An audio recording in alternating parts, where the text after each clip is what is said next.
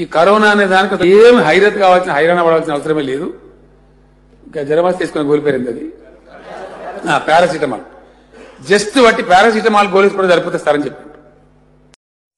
తాగితే మీకు కరోనా గొంతులో పడ్డ కరోనా వచ్చి పరిచయం ఉన్న వాళ్ళు గొంతులు ఆగుతుంది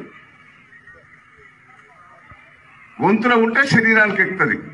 గొంతు పరిచయం తగ్గు లేకపోతే టక్కున కడుపులో పోతుంది కరోనా. మీ కడుపు మిషన్ మంచిది.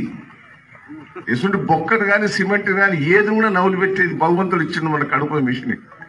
వాళ్ళ మిషన్ పడితే పిప్పి పిప్పి చేసి కింద నుంచి పారేస్తుంది కరోనా రోగాన్ని కూడా. అంత మంచి విసిరిచ్చాడు భగవంతుడు. కడుపులో పడాలి మనం అది ఈ గొంతులో ఉంటే ముక్కులో ఉంటే శరీరానికి ఎఫెక్ట్ పడుతుంది. అది వేడి నీళ్ళ ద్వారా మీ కడుపులో పడితే మీకు కరోనా అనేది కూడా వచ్చి వెళ్ళిపోతుంది. కరోనా వ్యాధి పారిపోవాలంటే మనం హరితారం చేయవలసిందే. జై తెలంగాణ జై కేసీఆర్.